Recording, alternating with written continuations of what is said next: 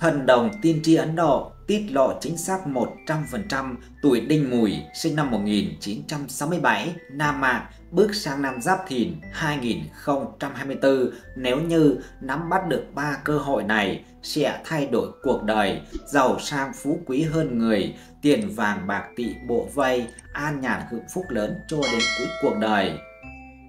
Quý tín chủ tuổi đinh mùi kính mến, trong cuộc đời này sẽ có những giai đoạn mà bạn bắt buộc phải đối mặt với những khó khăn, bế tắc, thậm chí là nghĩ tới việc muốn bỏ cuộc, muốn buông xuôi tất cả. Quả thực, thành công không bao giờ đến một cách dễ dàng và không có miếng bánh nào từ trên trời rơi xuống trên con đường đi tới thành công không bao giờ trải toàn hoa hồng và muốn nếm trải trái ngọt thì bạn phải là người gieo hạt kiên nhẫn chăm sóc cây từng ngày và kiên trì cho đến tận cùng. Mới đây nhất, khi xem lá số tử vi của 12 con giáp trong năm Giáp Thìn 2024, các nhà tiên tri học, nhà tử vi học phương Đông đã dự đoán ai khổ thì khổ, nhưng đối với tuổi Đinh Mùi sinh năm 1967, Nam Mạc được trời Phật thương tình, cát tinh cao chiếu mà trong năm Giáp Thìn 2024 nếu như nắm bắt được ba cơ hội vàng này, bản mệnh sẽ xoay chuyển được càn khôn, tiền bạc kéo đến ầm ầm, trúng số liên tiếp, đổi đời đại gia, trả sạch nợ nần, giàu sang hết phần thiên hạ mà mọi người chẳng hiểu vì sao. Vậy vận trình của quý Đức chủ tuổi Đinh Mùi, Nam Mạc diễn ra trong năm Giáp Thìn 2024 như thế nào? Ba cơ hội vàng trong năm đó là gì? Làm sao để thay đen đổi đỏ? Thì ngay sau đây xin mời quý Đức chủ cùng theo dõi luận giải nội dung chi tiết nhé. Cuộc đời Nam Mạng tuổi Đinh Mùi, sinh năm 1967, thất quần chi dương, tuổi trẻ nghèo khó đủ đường, về già được vận may theo đuổi, bất ngờ giàu to, tiền tiêu ba đời không hết trong năm Giáp Thìn 2024 nếu như nắm bắt được cơ mệnh này. Đầu tiên, đặc trưng tính cách người tuổi Đinh Mùi, sinh năm 1967, Nam Mạng. Đinh Mùi, hay còn được gọi với cái tên khác là Thất Quần Chi Dương, tức là con dê lạc bầy. Năm sinh dương lịch, từ ngày mùng 9 tháng 2 năm 1967 đến 28 tháng 1 năm 1968. Năm sinh âm lịch, Đinh Mùi, Thiên Can, đinh, tương hợp, nhâm, tương hình, tân, quý, địa chi, mùi, tam hợp, hợi mão mùi, tứ hành xung, thìn tuất sửu mùi, mạng thiên hà thủy, nước sông thiên hà, khắc thiên thượng hỏa, con nhà hắc đế, xương con dê, tướng tinh con rồng. Tuổi đinh mùi nam mạng với nạp âm hành thủy, do can đinh hỏa kết hợp với chi mùi thổ, hỏa sinh nhập thổ bằng can sinh chi.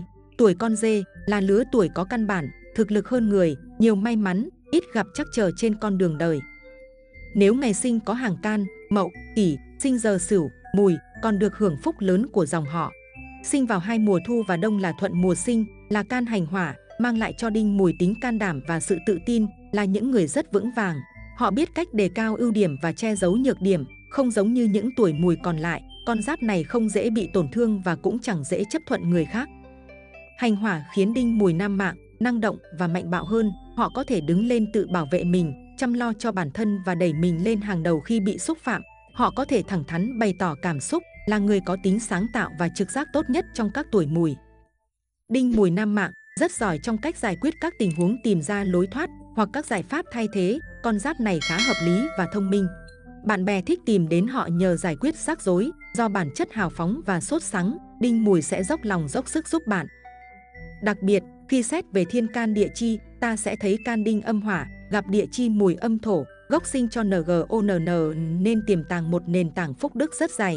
Nên con giáp này cuộc đời có nhiều may mắn, nhưng cũng phải biết tích đức để gia tăng thêm nhiều phúc báo, thọ mệnh cũng nhờ thế mà được dài lâu.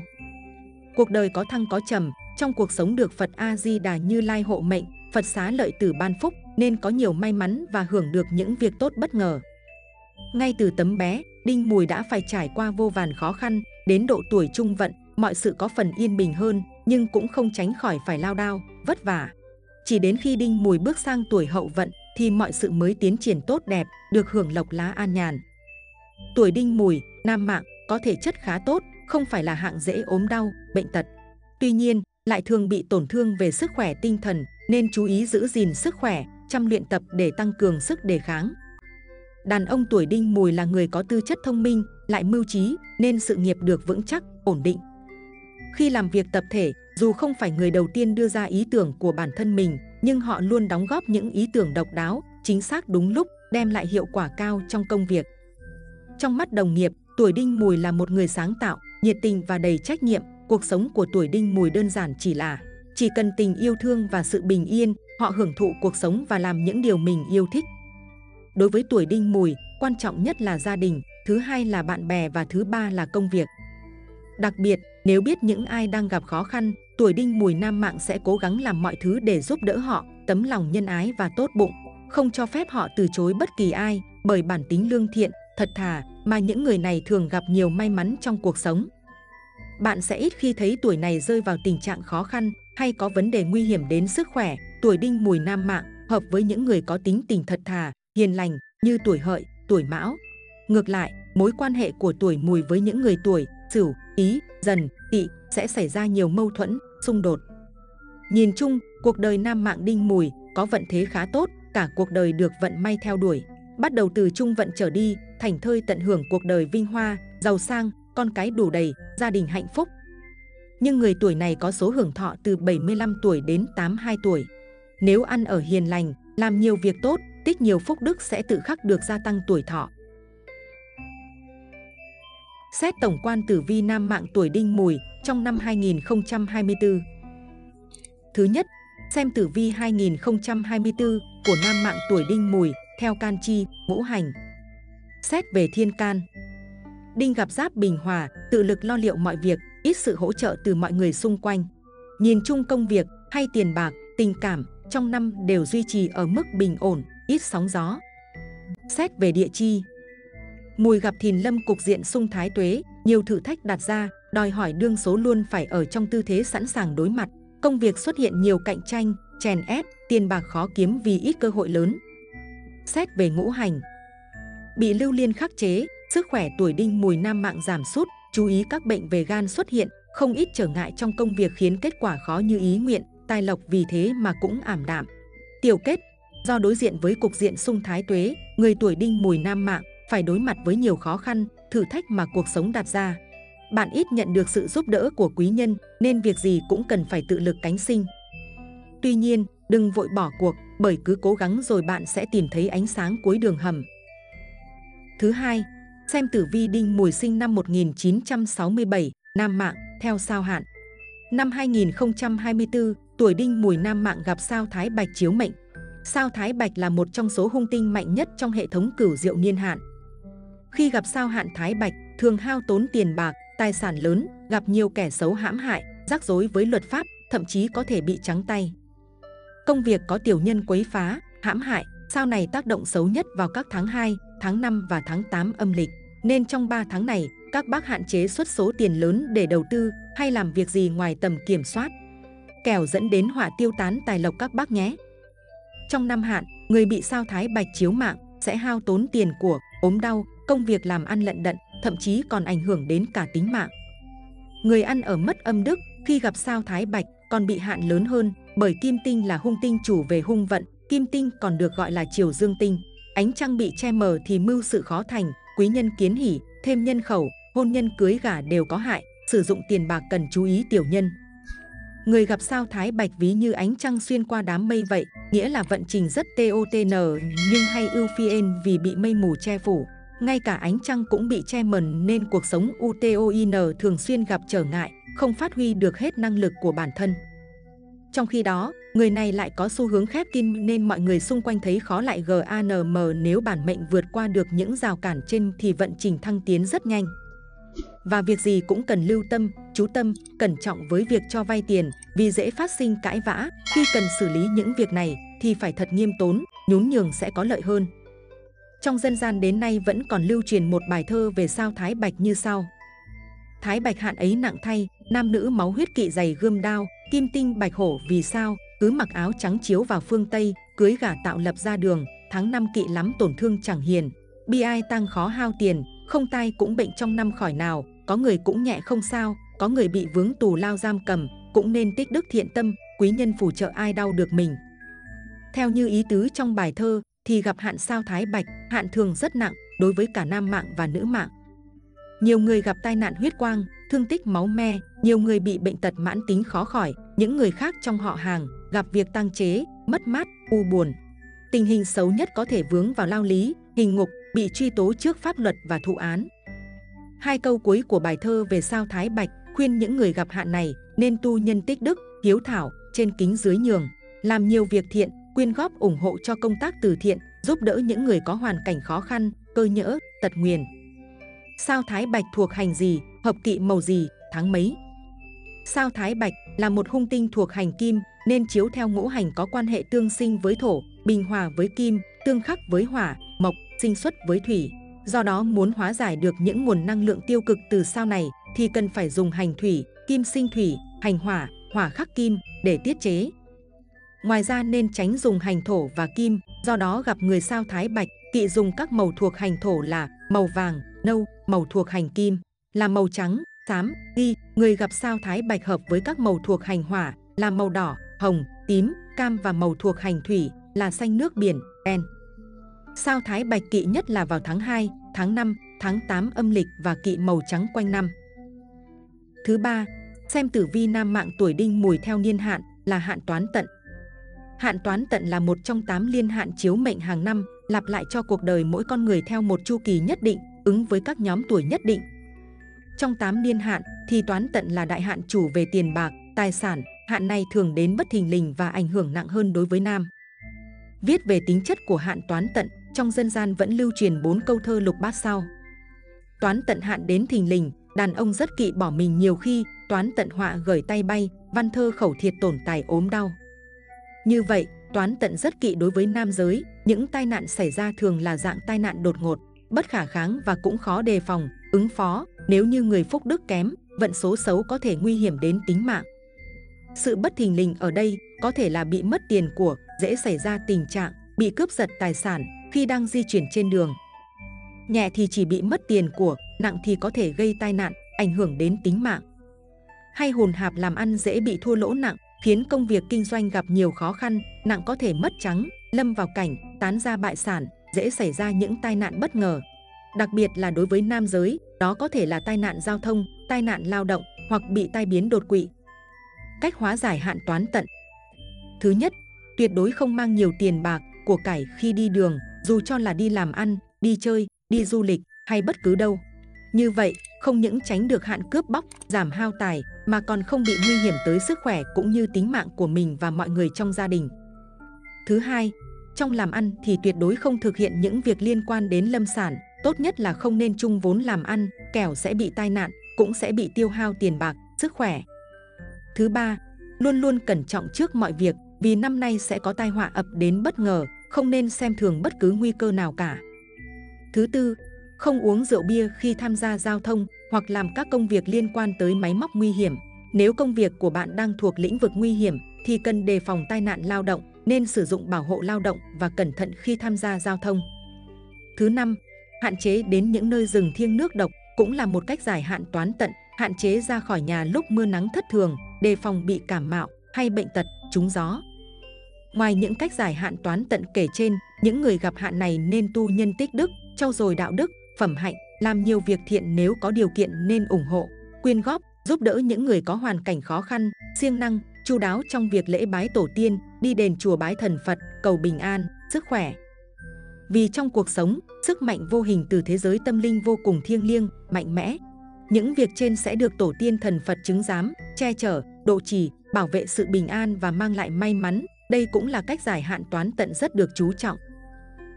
Thứ tư, vận niên năm 2024 của tuổi Đinh Mùi, nam mạng là Long Đắc Vũ, tức rồng gặp mây. Long Đắc Vũ là vẫn nên tương ứng với ý nghĩa tốt. Dự báo về năm 2024 của người sinh năm này có nhiều công việc lớn phải tiến hành. Luận tử vi Đinh Mùi, sinh năm 1967, nam mạng, năm 2024 thấy các công việc này tuy ban đầu khó khăn nhưng càng về sau càng thuận lợi nếu bản thân không ngừng cố gắng. Xuất hành đi lại năm này, chủ mệnh được lợi, công danh bị người khác phá hoại nhưng lại được quý nhân hỗ trợ nên kết quả vẫn tốt đẹp. Những người bản mệnh gặp gỡ trong năm, chú ý suy xét kỹ lưỡng để tránh bị lừa gạt. Xem vận hạn năm 2024 tuổi đinh mùi nam mạng theo tuổi âm. Tam tai năm 2024 Tuổi đinh mùi, không phạm tam tai 2024, báo hiệu một năm bình lặng, gia đạo hài hòa. Kim lâu năm 2024 Tuổi đinh mùi, không phạm kim lâu, có thể tiến hành bua hay xây dựng nhà cửa hoặc đứng tên làm việc quan trọng trong gia tộc. Hoang ốc năm 2024 Tuổi đinh mùi không phạm hoang ốc, làm nhà thuận lợi, tiểu kết. Năm 2024 nhìn chung là một năm yên bình với nam mệnh tuổi đinh mùi, bản mệnh được sống trong sự yêu thương của các thành viên trong gia đình. Nếu có ý định tiến hành các việc lớn như mua bán, xây dựng nhà cửa thì có thể tiến hành, song đừng nên cố gắng quá sức, gây ảnh hưởng sức khỏe. Đánh giá chung về tử vi năm 2024, tuổi đinh mùi, nam mạng. Về cơ bản vận khí của nam mạng tuổi đinh mùi, sinh năm 1967, trong 2024 khá suôn sẻ.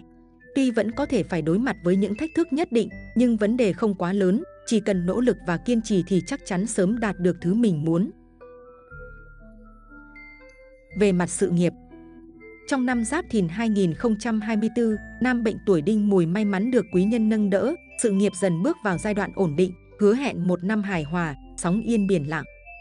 Công việc không quá nhiều cản trở, chăm chỉ làm việc, ắt gặt hái được thành quả xứng đáng. Nếu có chủ động, bạn hoàn toàn có thể tự tạo ra cơ hội thăng tiến mà không cần bất cứ ai tác động, biểu hiện và chất lượng công việc sẽ nói rõ năng lực của bạn tới đâu. Đó là lý do Đinh Mùi Nam Mạng chỉ cần chú tâm và gắng hết sức mình, cấp trên sẽ có những đánh giá xứng đáng với màn thể hiện của bạn. Đây cũng là thời điểm lý tưởng để đương số chú trọng mở rộng phương diện ngoại giao, tăng cường giao lưu, tiếp xúc với người quyền thế. Khi thời cơ đến, họ sẽ là quý nhân nâng đỡ con đường thăng quan tiến chức của bạn. Cái thiếu của đương số nằm ở sự quyết đoán, nhất quán về mục tiêu và kế hoạch rõ ràng, chỉ cần bổ sung được chắc chắn sẽ thu về thành công rực rỡ. May mắn có long trì cắt tinh trợ mệnh, bản mệnh sẽ được tiếp thêm động lực, tinh thần phấn đấu mạnh mẽ hơn hẳn, thậm chí khát khao đến cháy bỏng, rất tốt cho những ai đã và đang muốn khởi nghiệp trong năm 2024, tỷ lệ thành công rất cao. Tuy nhiên, dù có các tinh hỗ trợ, nhưng cũng không ít hung tinh rình rập, gây điều tiếng thị phi, bạn nên hành sự cẩn trọng để bảo vệ thành quả của mình, tránh hống hách mà trở thành bia ngắm của kẻ tiểu nhân, dẫn tới tai bay vạ gió. Về phương diện tài lộc, tài chính của người tuổi đinh mùi nhìn chung đã được cải thiện hơn trước rất nhiều, không chỉ thu nhập tăng lên, mà các nguồn thu từ việc kinh doanh nhỏ lẻ, làm thêm cũng tăng lên, giúp bạn cải thiện cuộc sống, tất cả là nhờ vào cái khí của thiên tài. Thứ tài trong năm sẽ là nguồn thu chủ yếu của con giáp này, nhất là những ai chăm chỉ làm ăn lúc này, hứa hẹn có nhiều nguồn thu nhập đổ về. Bản mệnh càng sông sáo, có sự chủ động trong mọi việc, dám thử sức với các lĩnh vực mới, phá giới hạn của chính bản thân mình thì càng dễ thu lợi. Còn nếu chỉ an phận ai bảo gì làm lấy, sẽ chẳng có sự đột phá nào xảy ra. Thậm chí dù có lợi thế, nhưng cơ hội tan biến trong nháy mắt nhìn được đấy, nhưng lại không nắm bắt được. Tuy vậy, Hùng tinh thiên quan kết hợp với thiên cầu cảnh báo, các mối quan hệ xã giao, hợp tác làm ăn khá mong manh, nếu không chú ý tắt chặt sẽ rất dễ đổ vỡ, ảnh hưởng tới lợi ích lâu dài. Đặc biệt, bản mệnh cần đề cao cảnh giác những kẻ lừa đảo, những người kinh doanh được khuyên làm ăn, buôn bán phải thận trọng trước những chiêu trò của đối thủ cạnh tranh. Để giữ được lợi thế của mình, bạn có thể dành thêm thời gian để quan sát đối thủ, có câu biết người biết ta, trăm trận trăm thắng, thông qua việc quan sát đó bạn vừa có thể nắm bắt hướng đi của đối thủ để có phương án phòng bị phù hợp, lại vừa có thể học tập từ chính đối phương để điều chỉnh lại bản thân. Trong năm này, những ai làm trong lĩnh vực tài chính, bán hàng, bất động sản cần chú ý theo dõi biến động thị trường, tránh vì chạy theo cái lợi trước mắt mà đưa ra phán đoán sai lầm, gây thiệt hại tiền của. Về phương diện tình cảm, gia đạo Năm 2024 được dự đoán là một năm khá thuận lợi về mặt nhân duyên của Đinh Mùi, các mối quan hệ xã giao hài hòa, gia đạo yên ấm, không có mâu thuẫn nào quá lớn, đôi khi có xung đột giữa các thành viên như không kéo dài và mức độ cũng không quá quan trọng. Bản mệnh cũng nên chú ý lời ăn tiếng nói, tránh rước thị phi, phá hỏng các mối quan hệ. Ngoài ra, vợ chồng nên cùng san sẻ gánh nặng, cuộc sống sẽ ngày càng gắn kết, ít chuyện phiền muộn, trong năm có thể dành nhiều thời gian hơn cho mình và gia đình bằng những chuyến du lịch hay đi chơi xa quý đinh mùi nhé. Về phương diện sức khỏe, bước sang năm 2024, tuổi đinh mùi bị hung tinh tăng môn, thiên cầu hoành hành nên sức khỏe xa sốt điểm, báo còn dễ xảy ra tai nạn, thương tật với mức độ không hề đơn giản. Bản mệnh sẽ khó tránh khỏi những ảnh hưởng bất lợi từ hung tinh gây ra như rối loạn giấc ngủ, ăn uống kém ngon, lâu ngày còn có thể ảnh hưởng tới sinh hoạt thường ngày và công việc. Đặc biệt, sức ảnh hưởng của thiên cầu hung tinh không hề nhỏ, không những cây xa trợ lực, sự cố cho phương diện công việc, tranh chấp, tiện tụng, pháp luật mà còn gây tai nạn bất ngờ khó lường trước về sức khỏe như va chạm, xe cộ, té xe bị đuối nước. Bản mệnh cần hết sức thận trọng khi tham gia các hoạt động thể chất mạnh hoặc môn thể thao mạo hiểm, tham gia giao thông nên tuân thủ đúng luật, giữ khoảng cách an toàn và giữ tỉnh táo. Lại có cô thần ảnh hưởng, bản mệnh dễ nảy sinh tâm lý cô đơn, buồn tủi, khiến tinh thần xa sút nhiều nỗi phiền lo, dần sinh tâm bệnh, dẫn tới tình trạng mệt mỏi, ăn ngủ đều kém, lười hoặc sợ vận động, cân nặng tăng giảm bất thường.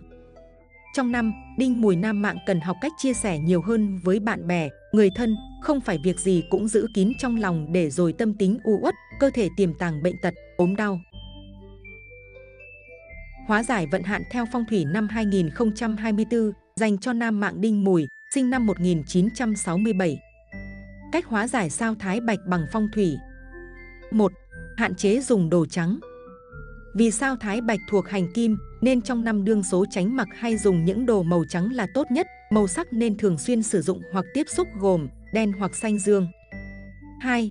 Sử dụng đá phong thủy Có thể dùng những đồ trang sức phong thủy hay vật phẩm phong thủy làm bằng đá thạch anh, thạch anh tóc đen, sapphire sẽ giúp mệnh chủ hóa sát cầu an. 3. Việc dùng người dùng người nên thận trọng, chớ tin người thái quá, kẻo bị lợi dụng hoặc lừa gạt khiến tiền mất tật mang. Tích cực làm việc thiện, có quan niệm cho rằng nếu không muốn bị quét sạch cửa nhà, mệnh chủ nên lấy tiền của đi quyên góp, giúp đỡ người nghèo khổ, làm việc tốt, thường xuyên phóng sinh, dần già tai ương sẽ tan biến. 4. Trưng bày vật phẩm chiêu lộc phong thủy Việc lựa chọn và trưng bày các vật phẩm có tính chất chiêu tài lộc hoặc có tính phong thủy hợp với gia chủ không chỉ vào dịp cuối năm mà mọi thời điểm trong năm đều khá cần thiết và có ý nghĩa. Tuy nhiên, việc chọn linh vật phong thủy hay tranh phong thủy cho người tuổi đinh mùi cần chú ý đến đặc điểm của bản mệnh. Bởi nếu bài trí không đúng, có thể không phát huy được tác dụng phong thủy, ngược lại còn gây rắc rối không tốt. Khi chọn linh vật phong thủy cho tuổi đinh mùi, nên lựa chọn các linh vật như thuộc bộ tam hợp, hợi, mão, mùi. Chọn tranh phong thủy thì nên chọn hình ảnh, biểu tượng mang hành thủy, kim sẽ tốt nhất, ví dụ như tranh phong cảnh biển, tranh thuyền biển, tranh thác nước, tranh cá chép hoa sen, thiềm thử, tỳ hưu mạ bạc sẽ đón được nhiều tài lộc, may mắn, an khang trong gia đình. 5. Trồng cây xanh trong nhà hoặc trước nhà. Theo quan niệm về phong thủy, cây xanh mang lại khá nhiều lợi ích, đặc biệt những loại cây mọng nước là biểu tượng cho sự cát tường nên thường được người ưa chuộng. Tại sao bạn không lên ý tưởng trồng ngay một số loại cây xanh trong nhà hoặc trước cửa nhà đang trống, vừa làm cảnh tạo không gian xanh mát, vừa đem lại thịnh vượng cho gia đình. Với tuổi đinh mùi mệnh thủy, nên kết hợp với màu bạch kim, màu trắng xám, ghi vì kim sinh thủy, còn màu xanh nước biển và màu đen lại chính là màu mệnh của thủy, nên càng tốt hơn. Vậy những cây cảnh phù hợp với mệnh thủy sẽ là những cây cảnh được lựa chọn trong hành kim và hành thủy, ví dụ như cây tùng la hán, cây lưỡi hổ, cây cung điện vàng, cây thiên thanh và hoa phong thủy hợp tuổi đinh mùi như cây hoa lan ý, hoa lưu ly, hoa cẩm tú cầu. Cuối cùng là thông điệp may mắn dành riêng cho tuổi đinh mùi nam mạng trong năm 2024 này. Thành công sẽ đến với những ai biết rõ mình muốn gì và không bao giờ bỏ cuộc cho đến khi đạt được điều đó. Thử thách là một phần trong cuộc sống và phải sử dụng nó, ta mới có được thành công. Vạn vật trên đời phàm là con người hay hoa lá, cỏ cây, muốn sống trên đời thì ắt hẳn đều phải trải qua những ngày tháng vất vả vươn lên. Để sinh trưởng và phát triển, nếu muốn bản thân sinh ra đã hoàn hảo, giỏi giang ngay từ đầu thì là điều không thể. Cuộc sống càng ngày càng khắc nghiệt hơn, căng thẳng như trong một vòng đua nước rút vậy. Điều quan trọng là phải tự mình học được cách đối mặt với những thử thách trong cuộc sống, lấy đó làm động lực, rèn luyện bản thân ngày càng vững vàng, trưởng thành trước sóng gió để về đích nhanh nhất có thể. Với một tâm thế sẵn sàng, luôn tự tin vào khả năng vượt qua của mình, át hẳn bạn sẽ thấy nhẹ nhàng hơn và dễ dàng tìm ra cách để giải quyết những vấn đề khó khăn. Quý bạn thân mến, khi gặp rắc rối hoặc đối diện một thử thách trong cuộc sống, thay vì hỏi tại sao, sao lại là tôi, thì bạn hãy hỏi mình sẽ phải làm gì, mình sẽ làm như thế nào. Đặt những câu hỏi như thế sẽ có lợi cho ta, vì ta cảm thấy bình tĩnh hơn, nhẹ nhàng hơn khi đối mặt với bất cứ chuyện gì. Và dùng năng lượng và khả năng của chính bản thân để phản ứng lại với hoàn cảnh khắc nghiệt, bởi bản thân không thể thay đổi những gì xảy đến, nhưng chúng ta hoàn toàn có thể tự lựa chọn cho mình cách đối diện và vượt qua. Thành công không phải là đích đến cuối cùng, thất bại cũng chẳng phải vực sâu, đó chỉ là động lực để bạn vững vàng hơn trên con đường sắp bước. Đại dương mênh mông sẽ không thể đánh chìm một con tàu nếu nước không tràn vào bên trong nó, cũng tương tự như thế, những khó khăn sẽ không thể quật ngã bạn nếu bạn không cho phép chúng làm thế. Vì vậy, đừng ngại sự đau khổ trong chốc lát, vì khi đau khổ, hoàn cảnh sẽ mở ra cho bạn cơ hội để trưởng thành và điều chỉnh lại bản thân thành con người nổi bật mà bạn có khả năng trở thành. Quá trình trưởng thành là đau khổ, mỗi người phải tự đối diện, tự gánh vác nếu mong muốn cuộc sống tốt đẹp hơn. Cũng như một câu nói mà tôi đã từng nghe, chỉ khi bạn định hình mục tiêu một cách rõ ràng trong tâm trí, bạn mới có thể thành động để đạt được mục tiêu ấy. Thành công sẽ đến với những ai biết rõ mình muốn gì và không bao giờ bỏ cuộc cho đến khi đạt được nó. Cũng mong bản mệnh tìm thấy được chân lý của cuộc đời mình, sống một cuộc đời viên mãn, thành tựu đầy mình, hạnh hòa đầy tâm, đinh mùi nhé. Vâng, quý vị thân mến, trên đây là những chia sẻ rất tâm huyết đến từ ban biên tập chương trình về ba cơ hội vàng giúp tuổi đinh mùi sinh năm 1967, Nam Mạng, đổi đời giàu có hơn người trong năm Giáp Thìn 2024. Minh Đường Tử Vi rất mong rằng quý vị sẽ gặp được nhiều may mắn, gặt hái nhiều thành công và làm giàu cho bản thân mình, cho xã hội. Minh Đường Tử Vi vô cùng cảm ơn quý vị đã quan tâm và theo dõi chi tiết hết video. Mọi ý kiến đóng góp và thông tin cần được tư vấn hỗ trợ, vui lòng comment ở bên dưới và bình luận. Ban biên tập chương trình sẽ tư vấn và giải đáp miễn phí trong thời gian sớm nhất. Mến chúc quý vị luôn mạnh khỏe, hạnh phúc, giàu có và thành công hơn nữa trong cuộc sống của mình. Chương trình đến đây là hết. Xin chào và hẹn gặp lại trong những chương trình lần sau.